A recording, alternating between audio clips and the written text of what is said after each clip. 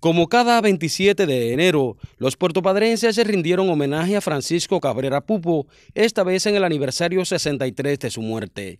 Hasta el parque que lleva su nombre en la Villa Azul asistió una representación del pueblo, acompañados por Yanis Lady Fernández López, primera secretaria del Comité Municipal del partido, y Emilci Gallego Rojas, vicepresidenta de la Asamblea Municipal del Poder Popular. El historiador Abel Sastre Matos resumió el hacer de Pago Cabrera desde su incorporación al movimiento 26 de julio hasta el 27 de enero de 1959, fecha en que con el grado de comandante acompaña a Fidel durante su visita a Venezuela, donde fallece en un accidente en el Aeropuerto Internacional Maiquetía. De igual forma, estudiantes de la SBU Pago Cabrera acudieron al cementerio de la Villa Azul, donde depositaron flores en el obelisco que guarda sus restos. Cada acontecimiento como el que estamos conmemorando hoy, que es el aniversario de la muerte de Pago Cabrera, debe servir para eso, sobre todo para fortalecer el patriotismo en las jóvenes generaciones.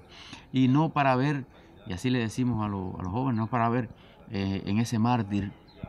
en ese comandante del ejército rebelde, eh, en esa personalidad eh, guerrera que fue Pablo Cabrera, no verlo eh, sobre, digamos, la fría estampa de una escultura o de un busto o de un panteón,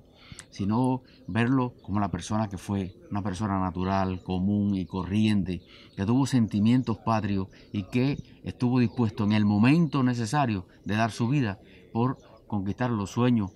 redentores de la patria. Desde la cultura también se le rindió homenaje a Francisco Cabrera Pupo en el aniversario 63 de su muerte, el 27 de enero de 1959. Orlando Leiva Almaguer, LTV Noticias.